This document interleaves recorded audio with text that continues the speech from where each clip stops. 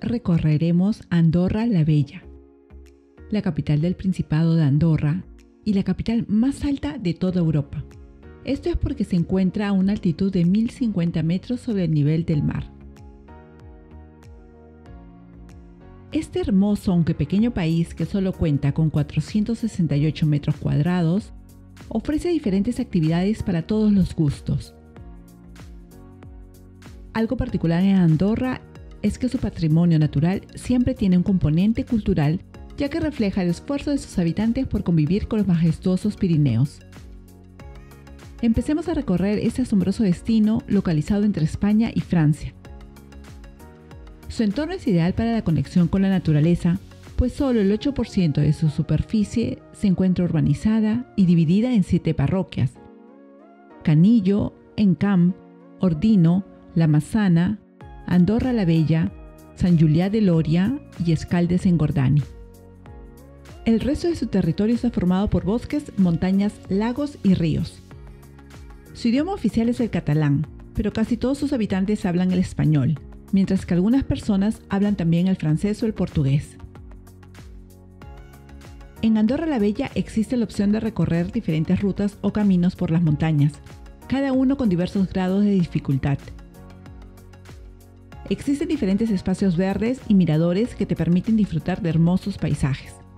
Una opción que yo tomé y que se las recomiendo es recorrer la Nel Verda o el Anillo Verde, que es un proyecto que interpreta la tradición y cultura agrícola y ganadera de la región y la convivencia del ser humano con los riesgos naturales.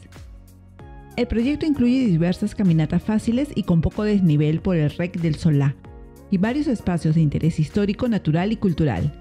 Todos delimitan un paisaje que da a conocer los recursos existentes, y la organización de su población a través de la historia, y nos narra cómo ha evolucionado la ciudad y cómo se ha ido configurando el espacio urbano.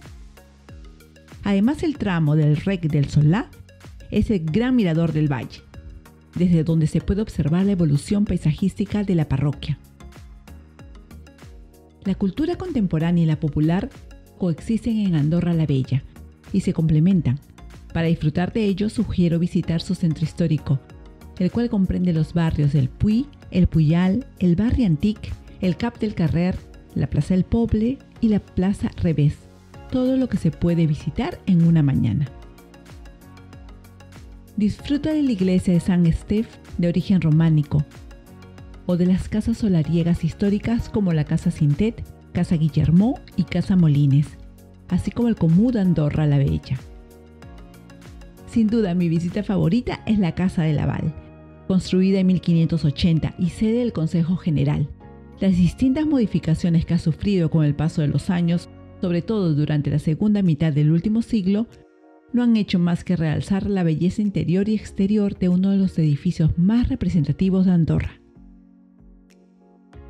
Entre su patrimonio artístico, Andorra la Bella cuenta con numerosas esculturas contemporáneas, situadas en diversos lugares de la parroquia, cada una más hermosa que la otra aunque debo confesar que mis tres favoritas son la escultura de los siete poetas, que representan a las siete parroquias del Principado, la escultura La Noblesse du Toms, del artista Salvador Dalí, y que hace referencia al paso del tiempo, y el monumento al contrapaz, dedicado a la danza típica de Andorra. Para disfrutar al máximo de todo esto no hay nada mejor que recorrer Andorra a pie y con total calma una visita imperdible, si lo tuyo son las experiencias de bienestar, es el impresionante Centro Lúdico Termal Caldea. Aunque en realidad se encuentra ubicado en la parroquia Escaldes en Cordani, pero muy cerca, muy muy cerca, Andorra la Bella. Es el spa termal más grande de toda Europa. Folclor, tradiciones, gastronomía y los deportes de altura y de invierno matizan la visita a Andorra la Bella y en general a todo el país. ¿Qué dices? ¿Te animarías a escaparte de Andorra?